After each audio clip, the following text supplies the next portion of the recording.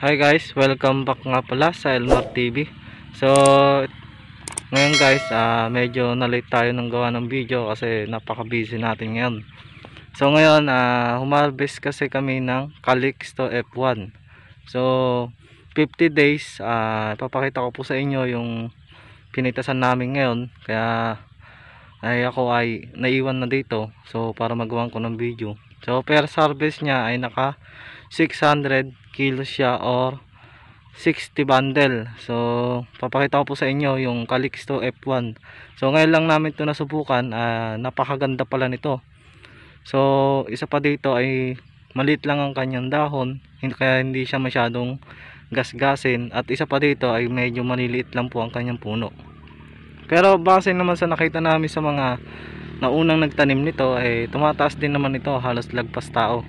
So, kailangan pa rin itong balagan. So, ngayon, puntahan natin yung mismong Calixto na aming pinitasan.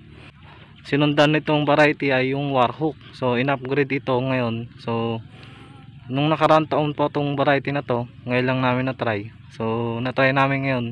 At ako rin po ay tatanim dito. May tataniman po akong Calixto para naman po pang tag-ulan. So, ngayon kasi season kasi ngayon tag-init. So, sinusubukan namin to kung okay nga ba siya sa init. So, yung itatanim ko ng Calixton, ito ko nang itatanim tapusan nitong buwan para naman siya sa pag unang patak ng ulan o July, August at itatry namin kung matibay siya sa ulan. Pero yung sa tatay ko po, yung po yung pinitasan namin ngayon, yung Calixto. So, tara, libutin natin. So, hello guys. ah andito na po tayo ngayon sa taniman ng... Ito po yung Calixto F1 na tanim po ng aking tatay. Ah, pinitasan niya po, pinitasan po namin ngayon. So ipapakita ko sa inyo kung gaano siya kababa pa lang. So makikita niyo guys dito, ay halos hanggang tuhod ko lang. So pero ang bunga niya ay napakakapal. So ngayon kasi ah, napitasan namin, so marami pa rin siyang pasunod.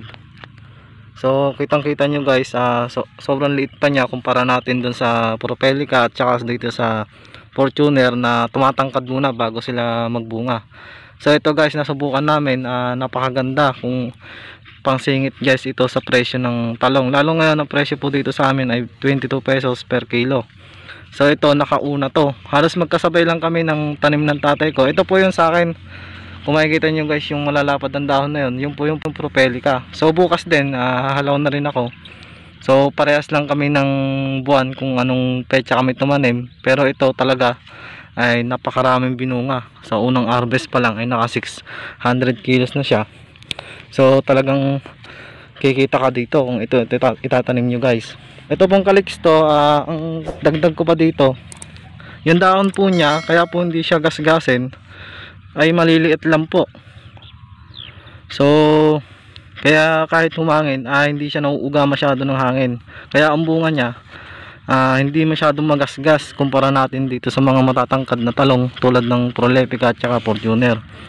Tsaka guys, dito nga pala pagka sa bulaklak, ah, nagtutuloy lang po pala sa kanya ay itong unang ah, unang sa may puno ng bulaklak. Yung itong may bulaklak na to malalagas po siya. So wala po talagang hindi po talaga siya magtutuloy. So ang pamulaklakan niya ay tatlo, isa lang po magtutuloy diyan, yun lang po isa na to. Itong dalawa na to malalagas na po yan. Kaya wag kayong ah wag din kayong kabahan pagka naglalagas yung bulaklak nito kasi ganun po talaga ang variety na to. Hindi siya katulad ng Prolepica na anim ang kanyang bunga sa isang ah, pamulaklakan eh nagtutuloy lahat. So, ito po yung sa ito po yung Propelica na akin tanim po. So namali lang tayo ng variety ah, kasi ito talaga na try na namin. Talagang maganda rin naman. So abangan nyo tong video na to. Ah, papakita ko bukas. O bukas kasi ang pitas namin. Ah, mag-upload din ng video sa unang harvest namin guys.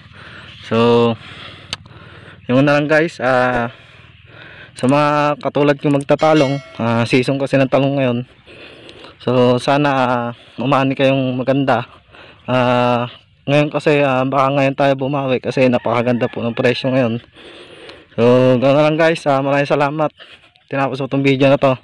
So sana ay huwag niyong kalimutang i-subscribe tong channel ko para update kayo sa mga bago kong video. So guys, thank you.